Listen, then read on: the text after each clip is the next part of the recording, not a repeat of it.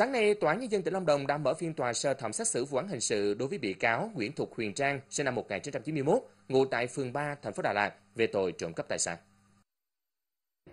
Theo cáo trạng, Nguyễn Thục Huyền Trang là nhân viên dọn phòng của khách sạn Ba Lô Hòa Bình, số 3 trên 8 đường Hai Bà Trưng, phường 6 Đà Lạt.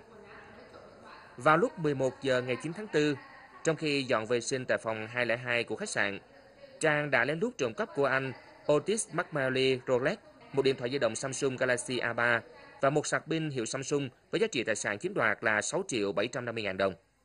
Tại phiên tòa, xét thấy bị cáo đã trả lại điện thoại cho chủ sở hữu. Trong quá trình điều tra đã thật thà khai báo phạm tội lần đầu, nhân thân tốt, nên hội đồng xét xử chỉ tuyên phạt bị cáo Nguyễn Thục Huyền Trang 6 tháng tù treo.